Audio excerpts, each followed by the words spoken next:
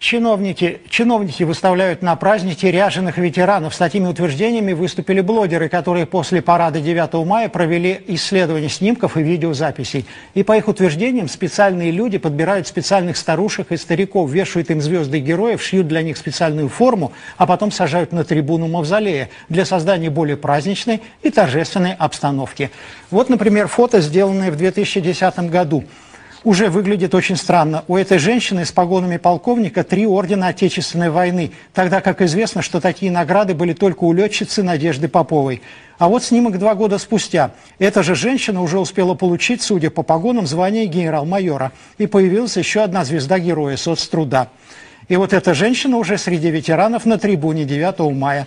Но опять-таки известна лишь одна летчица Валентина Гризодубова, у которой было две звезды героя.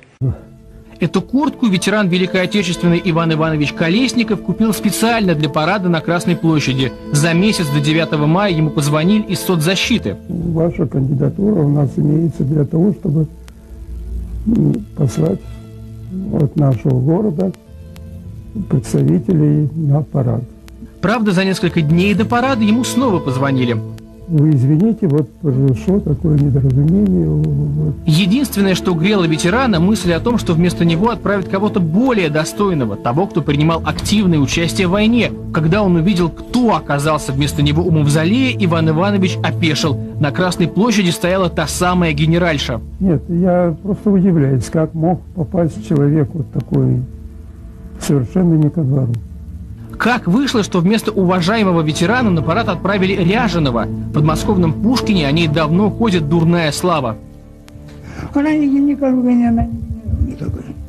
Не генерал никакой? Нет. Константин Николаевич хорошо знает псевдогенеральшу. Ее настоящее имя Шолпан Курмангалиевна Гриняева. Родилась в 1930 году. Баба Шура, здравствуйте. Здравствуйте. Мы к вам. Я слушаю вас. На пиджаке сверкает звезда Героя Союза. Еще одна или просто перевесила с кителя? Вот форма. А галстук здесь. Вот рубашка моя. В рассказе о военных похождениях... Ну вот война началась вот так вот. Сами знаете, как это была история. Гриняева путается в показаниях. А за что вам дали Героя Советского Союза? Ой, я вам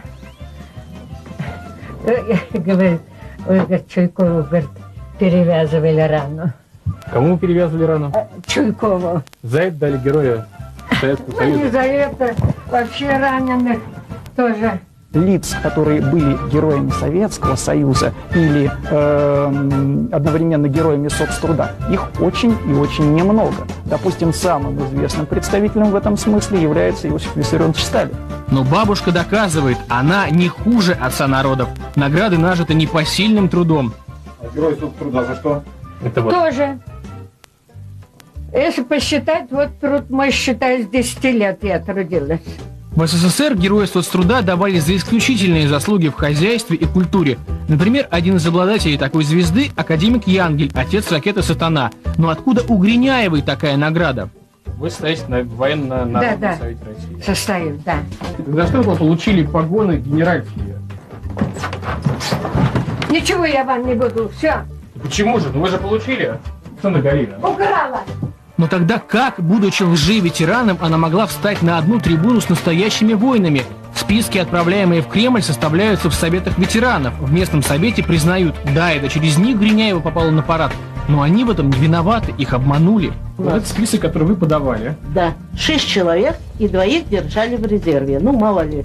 Как видите, Гриняевой в этом списке нет. И быть не, не могло. Фамилия Гриняевой в списке появилась уже после того, как она оказалась в Пушкинском управлении соцзащиты. Это здесь Ивана Ивановича Колесникова вычеркнули из списка на парад. По вашему мнению, все-таки, как она помогла-то? Попасть туда? Не знаю. Я не знаю. Я на самом деле просто не знаю. А это знаменитая участница всевозможных акций протестов Нина Семеновна Гуличева. Вот она в роли бесланской матери в 2004-м, вот в 2006-м у посольства Израиля протестует против исламского террора.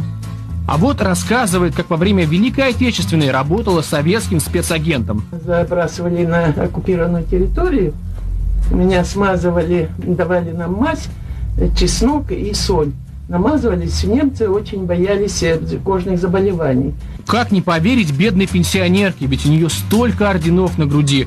Правда, на ее страничке в живом журнале указан год рождения – 1936 а это значит, что в момент окончания войны ей было всего 9 лет. Э, они же позорят и настоящих ветеранов, и своим поведением. Больше того, без стеснения занимают их место. Еще одна фигура. Орденская планка показывает, что у этого человека семь орденов Ленина. Однако такое количество этих орденов имели только три человека. Министр общего машиностроения Сергей Афанасьев и маршалы Иван Баграмян и Семен Буденный. Вот моряк в 2010 году, и он же год спустя. Моряк стал уже капитаном второго ранга. Какая стремительная карьера. И авторы этого расследования считают, что все это не самодеятельность отдельных людей. Ведь ветеранов проверяли перед размещением на парадных трибунах.